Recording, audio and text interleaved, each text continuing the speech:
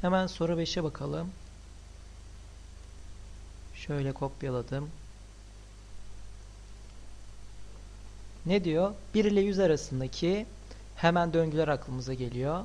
Mükemmel sayıları bulup ekrana gösteren programı fonksiyonlar yardımıyla oluşturunuz diyor. Zaten bunu döngüler ünitesinde buna benzer bir soru çözmüştük mükemmel sayı ile ilgili. Mükemmel sayı neydi? Mesela 6 bir mükemmel sayıydı.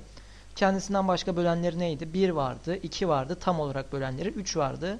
Bunların toplamı ne yapıyordu? 6 yapıyordu. İşte 6 bir mükemmel sayıdır.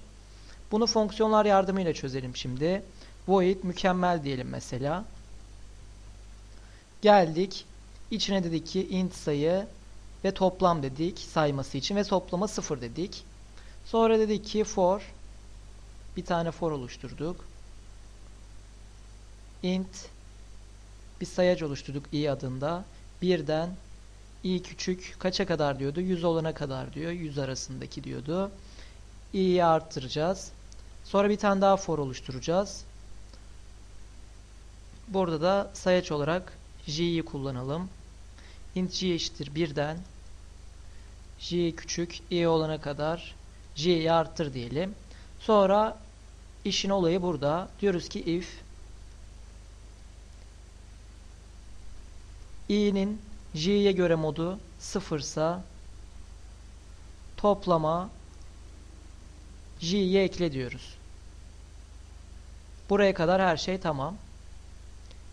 İlk for döngüsünden çıkıyoruz. İkinci for döngüsüne geliyoruz. Diyoruz ki yani en dıştaki for döngüsüne geliyoruz. Diyoruz ki eğer toplam i olduysa yani ilk sayı olduysa cout mükemmel sayı i and 9 diyelim şöyle.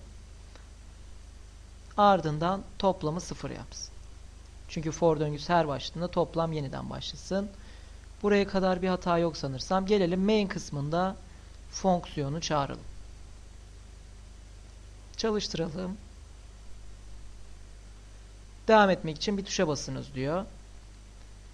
Bir daha bir çalıştıralım. Devam etmek için bir tuşa basınız diyor. Hemen hatamızı arayalım şimdi. En baştan başlayalım. Sayı ve toplam değişkenlerini oluşturduk. Sonra bir tane for döngüsü oluşturduk. Dedi ki 1'den 100'e kadar i'yi arttır dedik. İçine bir tane daha for döngüsü yaptık. Sayaç olarak j dedik buna. j 1'den i'ye kadar j'yi arttır dedik. Sonra dedi ki eğer i'nin j'ye göre modu sıfırsa toplama j'yi ekle dedik.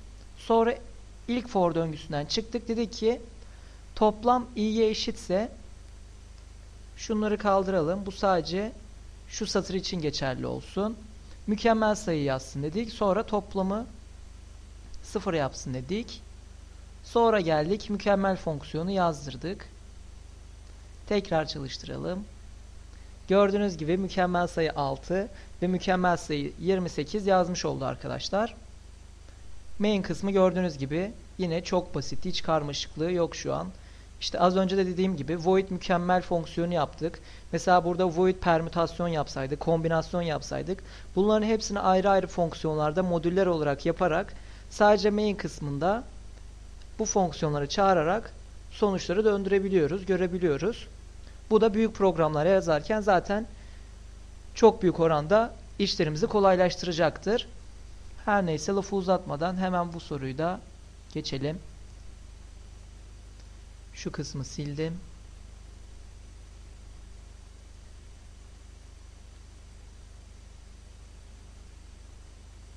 Pardon.